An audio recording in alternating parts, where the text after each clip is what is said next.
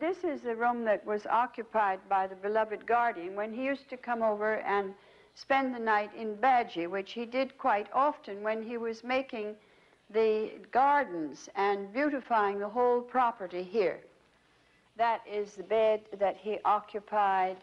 Above the bed is the genealogy of Baha'u'llah, all in his own handwriting. Above that is one of the early designs for the first Mashriqu'l-Adhkar in the West, which happens to have been done by W.S. Maxwell, the hand of the cause, who designed the uh, superstructure of the shrine of the Bab. And Shoghi Effendi placed this original design of his here in this position. Above that are two of the beautiful birds of paradise of Meshkin Ghalam. And in this whole room, you see things that are of great historic interest. On that side of the wall is a picture of the greatest holy leaf drawn from life by a very well-known American portrait painter, Daisy Smythe.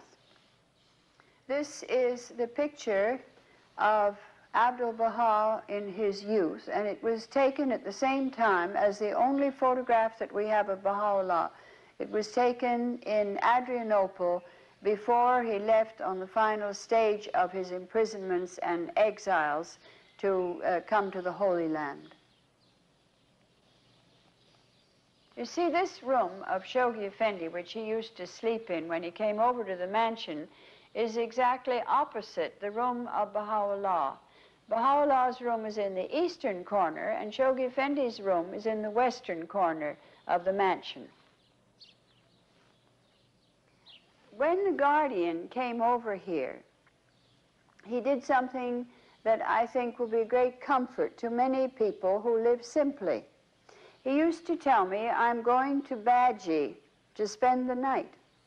And he would walk out of the house with his toothbrush in his pocket and get into his automobile and come over here. And sometimes he stayed here as long as four or five days. And it was just as simple as that.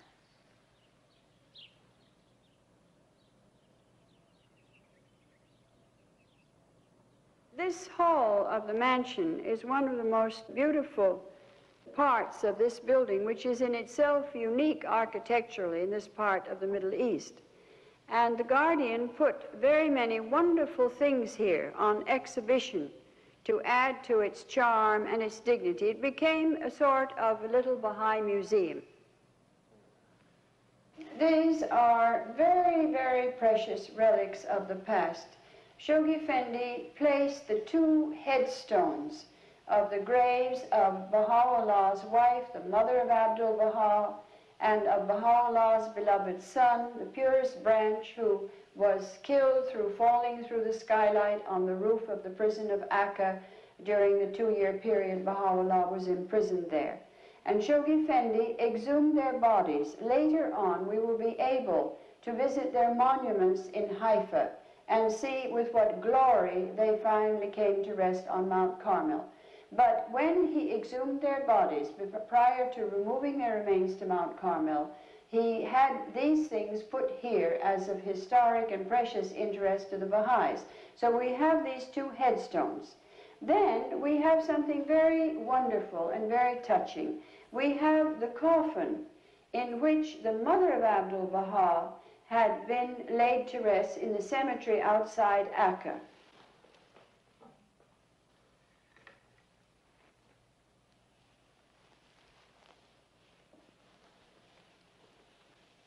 When Shoghi Effendi, with his own hands, went to exhume these precious remains, he got into the graves and himself took them out and placed them in new coffins with the greatest of respect and brought them to Haifa in the vicinity of the shrine of the Bab on Mount Carmel prior to their interment in the garden close to the remains of the greatest holy leaf, Bahiyyih Khanum.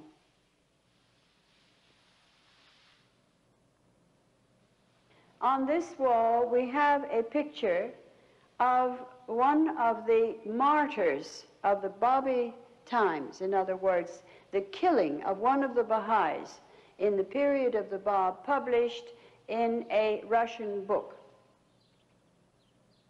On this wall, below this bookcase that has a great many Braille translations of the Baha'i writings, we have the famous Mezquita Mosque in Cordoba, Spain.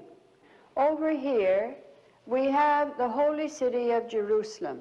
This was to show how sacred this city is in the eyes of the Baha'is and also in the eyes of the Jews, the Muslims, and the Christians. This is a very interesting thing that the Guardian has done here. He has placed the Farman, the order for the execution of the Bab, on this wall, and below it he has put the commanding officer of the regiment that actually fired the shot and killed the Bab. And then, opposite this, deliberately, the Guardian conceived the idea of placing the first local spiritual assemblies of Latin America, assembly by assembly. And he was very, very happy over their formation. It was part of the first seven year plan. And he said that this commanding officer could look at the result of his work what had come about from the execution of the Bab. Aside from the pictures of the Baha'i temple in Wilmette in the United States, on this wall there's something again that calls to our attention the fact that the Baha'is believe in all the sacred religions of the world and respect them because this is a very important place in the Baha'i world, a place of pilgrimage. Now, Shoghi Effendi, the guardian, placed on the wall a picture of the holy city of Medina. And on the left, the Kaaba in Mecca, the place of pilgrimage for all the Muslims in the world.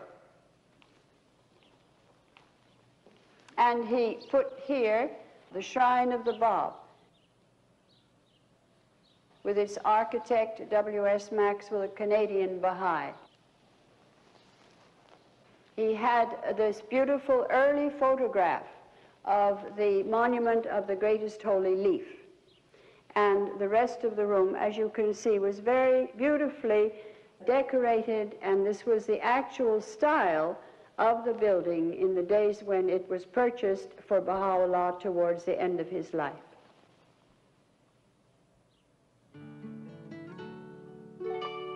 Baha'u'llah's room opened onto this secluded court on the balcony where he could enjoy privacy. The colored glass screen and marble fountain made it cool and shady in summer and protected from the rain in winter.